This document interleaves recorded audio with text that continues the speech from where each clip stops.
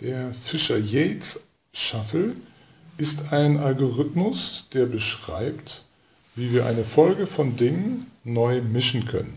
Als Beispiel habe ich hier auf dem Tisch eine Folge von Karten liegen. Der Algorithmus ist schnell erklärt. Wir haben einen Zeiger, der wird jetzt von links nach rechts durchwandern, eine Position nach der nächsten. Und mein Stift hier, der ist ein zweiter Zeiger, der wählt zufällig eine Position aus, die entweder am ersten Zeiger liegt oder rechts davon.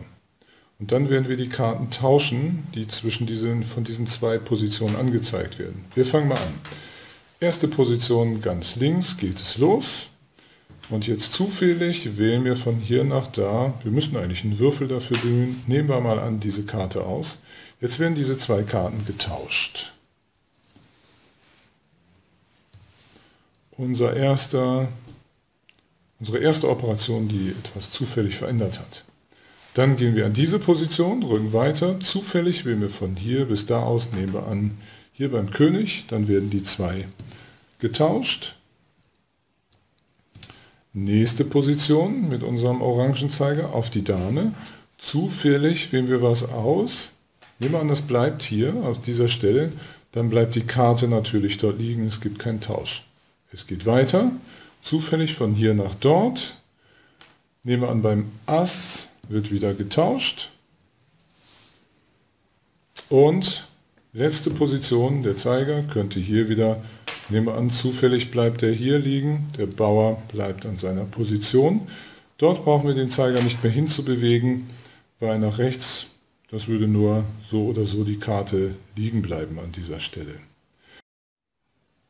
Jetzt wollen wir dieses Beispiel übertragen in Processing in Code. Die Folge der Karten werden wir abbilden durch ein Array. Ein Array fängt an mit, Sie erinnern sich, der Position 0 zu zählen. Also die erste Karte ist an der Position 0, 1, 2, 3, 4, 5. Auf dem Tisch liegt die Anzahl von sechs Karten, aber die Positionen sind 0 bis 5.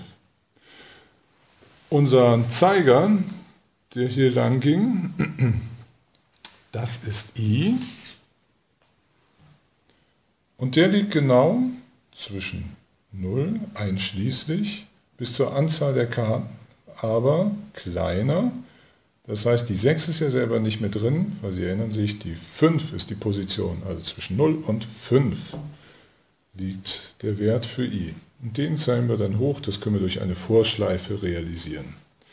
Unser anderer Zufallszeiger, ups, ich nehme jetzt mal einen anderen Stift, den ich hier gerade habe, den nennen wir j. Und das ist ein Zufallswert, der abhängt von unserem i Genau an der Stelle geht er los. Und wieder Anzahl.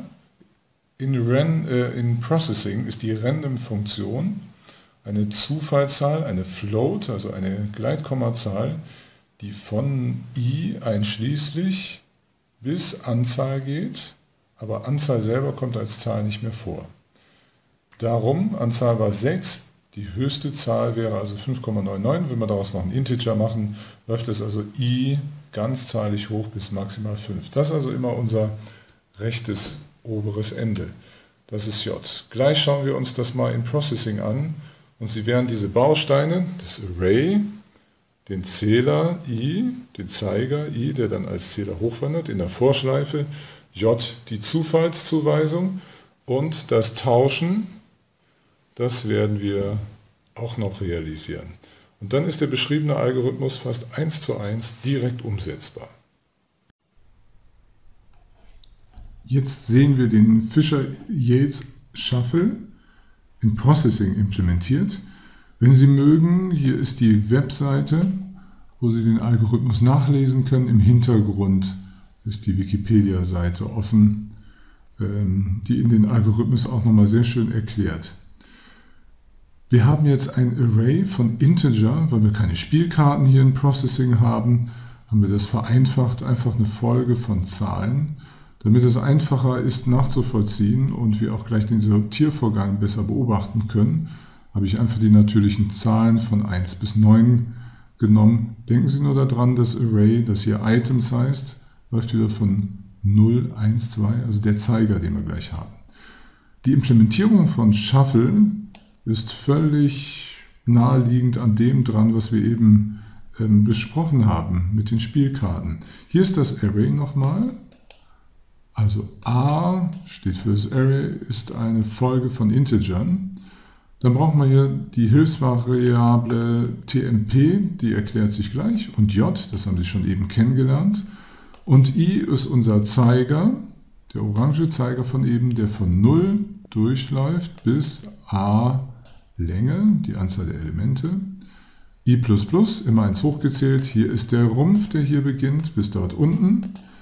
Das J haben wir eben auch schon besprochen, ist eine Zufallszahl von i bis zum Ende, das letzte Kartenelement, der Zeiger da drauf. Sie denken dran, a links ist nicht mehr drin, darum ist es die letzte Position und daraus machen wir ein Integer. Und die nächsten drei Zeilen tauschen die Karten.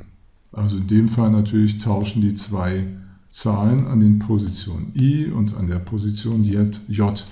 Und äh, für den Tauschvorgang braucht man eine Hilfsvariable, eine temporäre Variable, darum TMP, wo man den Wert eben zwischenspeichert, ähm, um ihn zu erhalten, weil wir ja AI auf den äh, Wert von AJ setzen und temporär auf AI zugreifen müssen, den wir ja gerade eben überschrieben haben. Und hier so. Hier unten mit Setup rufen wir das mal beispielhaft auf. Play. Wir drucken die Folge der Zahlen und ähm, machen eine kleine Leerzeile. Dann machen wir das Shuffling auf den Items und drucken uns das Ganze wieder aus. 0, 1, 2, 3, 4, 5, 6, 7, 8, die Position. Dort sind die Zahlen 1, 2, 3, 4, 5, 6 und so weiter. Und hier sehen Sie den erfolgreichen Shuffle 0 bis 8 und die Zahlen. Es wäre schön, wenn wir dem Programm zuschauen könnten beim Rechnen. Das geht tatsächlich.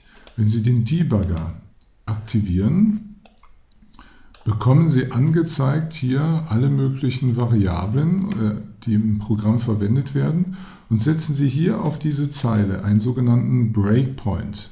Dann wird die Ausführung dort angehalten. Wir machen jetzt Play. Unser Programm läuft genau bis zu dieser Stelle das schiebe ich mal gerade ein bisschen zur Seite, läuft genau bis zu dieser Stelle und gucken Sie mal hier rechts. Es ist leider vom Zeichenfont klein, man kann das nicht größer machen. Hier sehen Sie A, die Position 0, 1 und so weiter bis 8 und da die Werte. Wenn wir jetzt einen Schritt weiter, das ist der Einzelschrittmodus, dann kommt I ins Spiel, sehen Sie es hier drüben rechts. I ist auf 0, das ist also gerade unser Zeiger. Und nächster Schritt wird uns J setzen. Zufällig wurde die 4 ausgewählt. Das heißt also, wir werden jetzt einen Tausch machen von 0 und 4. Die 5 wird also hierhin wandern nach oben und die 1 an diese Stelle. Wieder ein paar Schritte, wir haben diesen Tauschvorgang und was tatsächlich passiert, 5 und hier die 1 haben sich getauscht. Noch sind die Werte gültig. Nächster Einzelschritt. So, i ist wieder hochgezählt. j wird gesetzt werden auf 4, wieder zufälligerweise 4. Und wir haben wieder den Tausch. Und dann geht es in die nächste Iteration. Das also noch als kleinen Tipp, wenn Sie einen Algorithmus mal verstehen möchten, was der im Detail tut. Sie können jederzeit mit Hilfe des Debuggers arbeiten und sich das Rechenergebnis anschauen.